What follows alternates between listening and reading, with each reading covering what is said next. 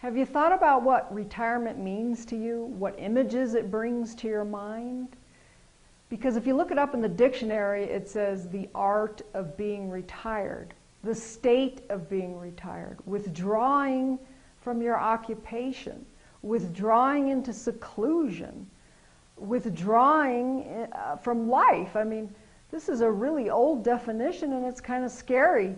It brings images of sitting in front of the TV and watching the Weather Channel all day, just waiting to die. I mean, who thinks like that anymore? I mean, I realize that we need a break and to relax and reflect on our life sometimes, but not for the rest of our life.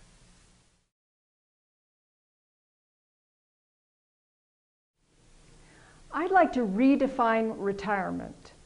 Here's what it means to me doing what you want, when you want, with the means to do it. And I'm an adventurous person, so when I retire, I want to have an adventure. I want to travel the world, um, learn new things, and have images of being happy up until the last moment of life. I'll probably be doing something and all of a sudden just go, oops, uh, where am I? Well, you get the picture. So, does retirement mean to you? And how are you going to plan for it? And how are you going to invest for it?